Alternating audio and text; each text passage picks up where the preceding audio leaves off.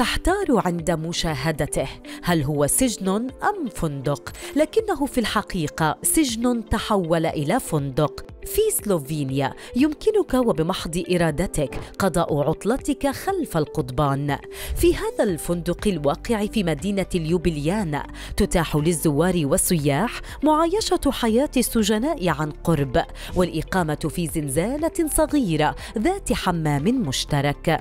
الفندق الفريد كان سجنا عسكريا لمدة تزيد على قرن وأغلق عام 1991 عندما استقل استقلت سلوفينيا عن يوغوسلافيا وفي عام 2003 استولى عليه مجموعة من الفنانين الذين أعادوا تشغيله من جديد كفندق وحولوا جدرانه لأعمال فنية.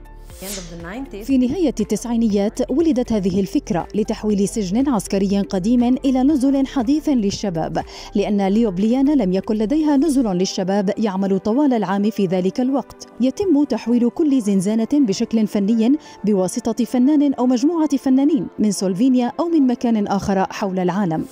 السجن الفندق هذا تحول إلى مقصد سياحي بحد ذاته سواء للزيارة أو الإقامة أو تناول المشروبات فيه بالإضافة إلى تكلفة الإقامة المتواضعة التي لا تزيد على 35 دولارا فقط لليلة الواحدة. إنها تجربة مختلفة بالنسبة لي ونوع من المعرفة التي تمثل الثقافات في سلوفينيا.